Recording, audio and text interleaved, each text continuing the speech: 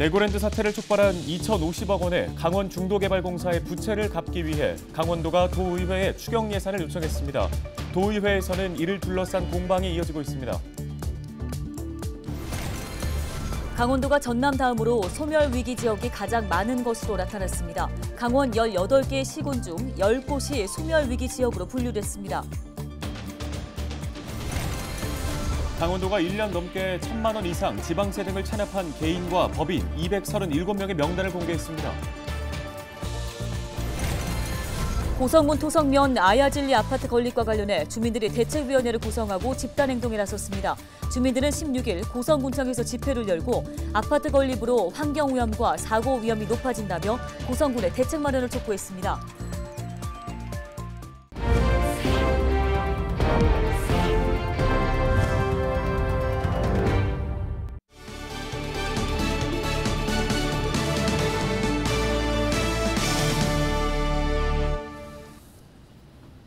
여러분 안녕하십니까? 헬로티비 뉴스입니다. 강원도가 대신 갚기로 한 중도개발공사의 보증 채무 2,050억 원.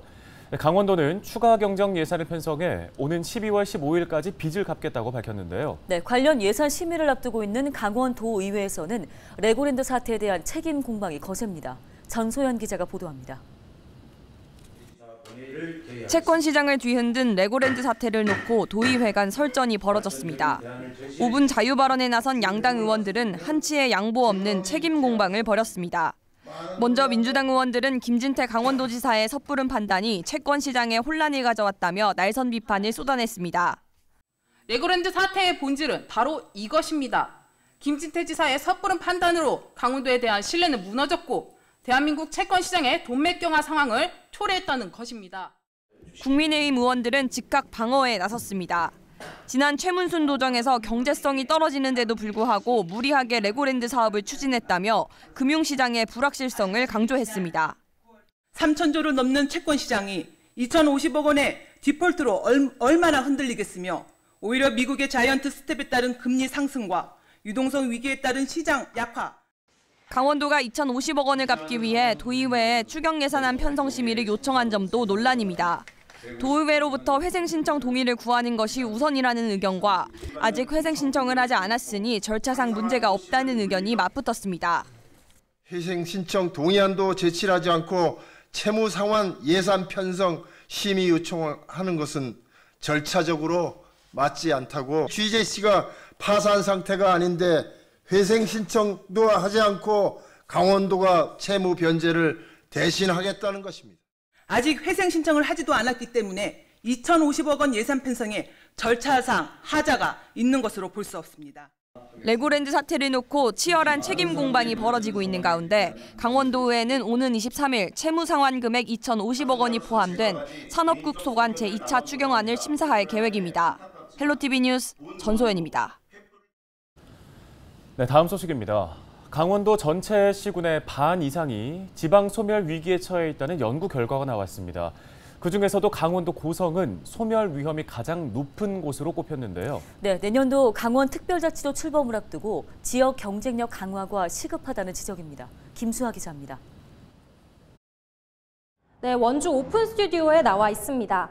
지방소멸 문제는 어제 오늘 일이 아닌데요. 최근 산업연구원이 발표한 지방소멸 위험도가 이 심각성을 또 보여주고 있습니다. 강원도는 전국에서 전남에 이어 두 번째로 소멸 위기 지역이 많았습니다. 어느 곳이 소멸 위기 지역일까요? 네, 보시면 강원도 18개 시군 중 무려 10곳이 소멸 위기 지역이었는데요. 화천, 양구, 인제, 고성, 양양, 평창, 영월, 정선, 태백, 삼척이 모두 소멸 우려 지역에 해당됐습니다. 그 중에서도 고성은 소멸 가능성이 가장 높은 소멸 위험 지역이었고요. 나머지 지역은 소멸 우려 지역에 해당됐습니다. 실제 이 10곳의 지난 10년간 인구 증감 추이를 살펴봤습니다. 한번 보시겠습니다. 네, 고성, 정선, 평창, 영월 모두 10년 전부터 꾸준하게 인구 하락세를 보이고 있는데요. 고성의 경우 9.5%의 하락률을 보이고 있고요. 정선의 경우 10.6%의 하락률을 보이고 있습니다. 전문가는 강원도의 경쟁력을 높이기 위해선 내년 6월 11일 시행을 앞둔 강원특별자치도법의 세부 조항이 중요하다고 말합니다. 전문가 의견 듣고 오시겠습니다. 우리가 잘하고 있는 것을 조금 더 지역의 문제를 해결하는 데 좀 집중할 필요가 있는데요. 또 춘천의 뭐 영상 디지털 네, 특구라든가 네, 네. 원주 디지털 헬스케어 특구 이게 아마 보건 의료의 데이터를 가지고 예, 도민들의 의료 의 접근성이라든가 또 의료의 또 질적 개선하는 점도 많은 도움이 됩니다. 그런 강원도형 뭐 의료 포괄 케어 시스템 뭐, 뭐 플랫폼 이런 것을 만들어서 네, 강원특별자치도 시대를 맞아 더욱더 활력이 넘치는 강원도가 됐으면 좋겠는데요. 인구 소멸의 위험에서 벗어나려면 당장 지금부터 정치권과 시민사회의 고민이 필요해 보입니다. 지금까지 원주 오픈 스튜디오에서 헬로티비 뉴스 김수아입니다. 다음 소식입니다. 강원도가 1년 넘게 천만 원 이상 지방세 등을 내지 않은 고액 상습 체납자 237명의 명단을 공개했습니다. 도내 시군별 명단 공개 대상자가 가장 많은 곳은 원주였고 춘천과 평창이 그 뒤를 이었습니다. 강원도는 명단 공개 대상자에게 납부 독려와 6개월간의 소명 기회를 부여했으며 최근 심의를 거쳐 명단 공개를 결정했습니다. 고성군 토성면 아야질리 아파트 건립과 관련해 주민들이 대책위원회를 구성하고 집단 행동에 나섰습니다. 주민들은 16일 고성군 간성읍 시가지에서 가두 행진을 벌인 뒤 고성군청에서 항의 집회를 가졌는데요. 이들은 해당 아파트가 생활 하수를 자체 정화시설에서 처리한 뒤 마을 항내로 배출할 계획이라며 마을 어장에 큰 피해가 발생할 것이라고 주장했습니다. 또 아파트 진출입로가 마을 안길로 연결돼 심각한 교통 혼잡이 빚어질 것이라고 성토했습니다. 대책위는 이와 관련해 고성군수와 면담을 하고 고성군에 대해 대책 마련을 요구했습니다.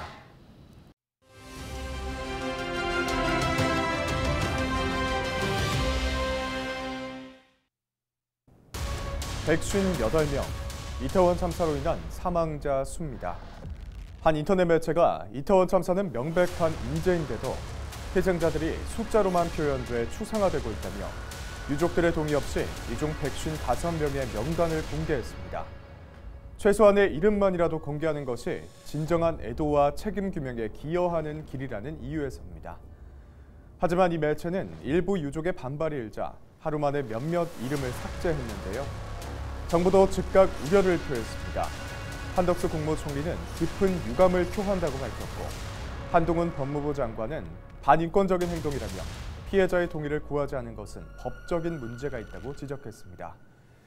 외교 문제로 비화될 수 있다는 목소리도 나옵니다. 일부 주한 대사관은 자국민 희생자의 실명이 공개된 것에 대해 우리 외교부에 공식 항의하고 시정을 요구하기도 했습니다. 이처럼 논란이 확산되고 있는 가운데 이 매체는 정의구현 사재단이 희생자의 이름을 부르는 사진을 배경으로 광고성 떡볶이 먹방을 진행해 공분을 사고 있습니다. 지금까지 데일리 브리핑이었습니다.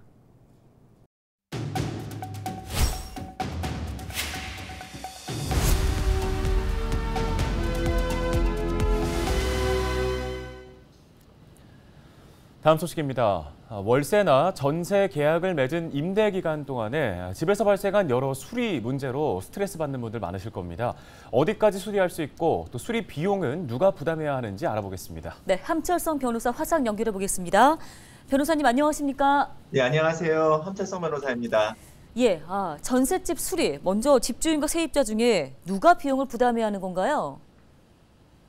대법원은 임대차 계약에서 임대인은 계약 전속 중 목적물의 사용 수익에 필요한 상태를 유지할 의무를 부담하므로 목적물의 파손 또는 장애가 생긴 경우 그것을 수선하지 않으면 임차인이 계약에 의하여 정해진 목적에 따라 사용 수익할 수 없는 상태라면 기본적으로 임대인에게 수선 의무가 있다고 판시하고 있습니다.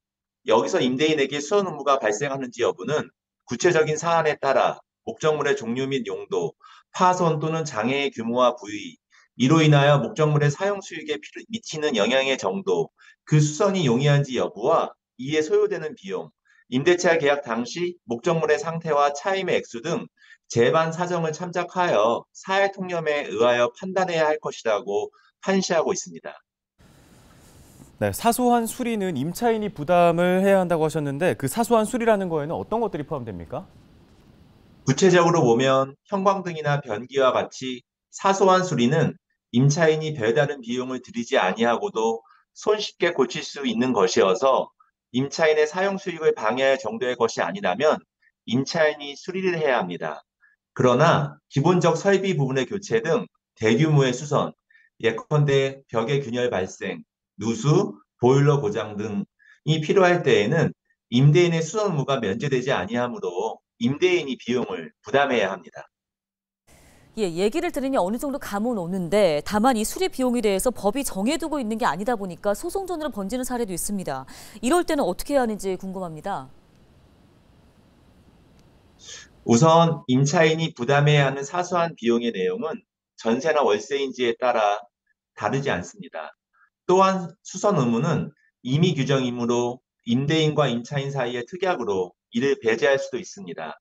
그러므로 계약 체결 당시 임차인이 부담해야 하는 수선 비용의 정도, 예컨대 1회에 20만 원을 넘지 않는 수선 비용은 임차인이 부담하기로 한다는 내용의 특약을 계약서에 명시하는 것도 좋은 방법입니다. 그리고 만일 임대인이 수선 의무를 부담해야 하는데도 이를 이행하지 않는다면 임차인은 차임 지급을 일부 또는 전부를 거절할 수 있고 계약을 해지할 수도 있습니다. 또한 임차인의 비용으로 일단 수리를 받은 다음 그 비용을 청구하거나 지급할 차임에서 공제할 수도 있다는 점을 알아두시기 바랍니다. 네, 알겠습니다. 도움 말씀 여기까지 듣겠습니다. 함철성 변호사였습니다.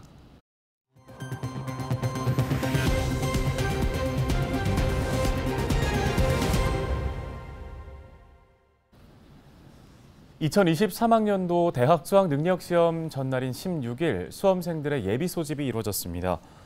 수험생들은 배정받은 시험장에서 수험표와 시험 유의사항 안내문을 받고 시험실 위치 등을 확인했습니다. 강원 지역의 올해 수능 응시자는 12,330명으로 도내 49개의 시험장에서 시험이 치러질 예정입니다. 코로나19에 감염된 수험생들은 별도의 시험장에서 시험을 보게 됩니다. 코로나에 걸렸을 경우에는 확진 사실을 교육청에 전화로 알려야 별도 시험장을 배정받을 수 있습니다.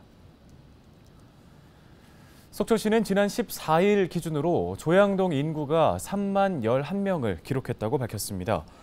속초시 조양동 인구는 속초 전체의 36.4%에 해당하며 인근 고성군, 양양군 인구수를 초과하는 규모인데요. 지난 2001년 2만 명을 돌파한 조양동 지역은 대단위 아파트 신축이 잇따르며 인구가 급증했습니다. 조양동 주민자치회는 3만 번째 전입자에게 100만 원 상당의 축하 선물을 전달했습니다. 경제적 어려움 등으로 결혼식을 올리지 못했던 출소자 부부들의 아주 특별한 결혼식이 열렸습니다. 한국법무보호복지공단 강원 동부지부는 16일 강릉 세인트 컨벤션 웨딩홀에서 제2회 플라타너스 결혼식을 개최했습니다. 법무보호 대상자 두 쌍이 화촉을 밝힌 이번 행사는 출소자들이 가정을 꾸리고 사회 구성원으로 복귀할 수 있도록 돕기 위해 마련됐습니다. 설악산 신흥사의 영산회상도가 보물로 지정된 것을 기념하는 행사가 마련됐습니다. 대한불교 조계종 제3교구 본사인 설악산 신흥사와 속초시 문화재 제자리 찾기 위원회는 지난 15일 신흥사 유물전시관에서 기념식 행사를 열었습니다. 신흥사 영산회상도는 조선 영조 31년 조성된 불화로 한국전쟁 직후 사라졌다가 미국에서 발견됐으며 국내 전문가의 복원 작업을 거쳐 2020년 국내로 환수돼 신흥사로 돌아왔습니다. 이병선 속초시장은 문화재청을 대신해 신흥사에 보물 지정서를 전달했습니다. 해양수산부가 망상해 수욕장은 올해 해수욕장 운영평가 우수 해수욕장으로 선정해 국비 1억 원을 지원합니다. 이번 평가는 40개 해수욕장을 대상으로 현장 평가와 이용객 만족도 조사 결과를 종합해 모두 6곳이 선정됐습니다. 망상해수욕장은 수상 안전 오토바이 배치와 드론 음식 배송 서비스 등이 높은 평가를 받았습니다. 횡성쌀 어사진미가 미국 수출길에 올랐습니다. 횡성 어사품 조합 공동사업법인은 16일 선적식을 갖고 모두 20톤을 선적했는데요. 횡성 어사진미는 매월 40톤씩 1년 동안 미국 서부 지역으로 480톤이 수출될 예정입니다. 뉴스 마치겠습니다. 네, 고맙습니다.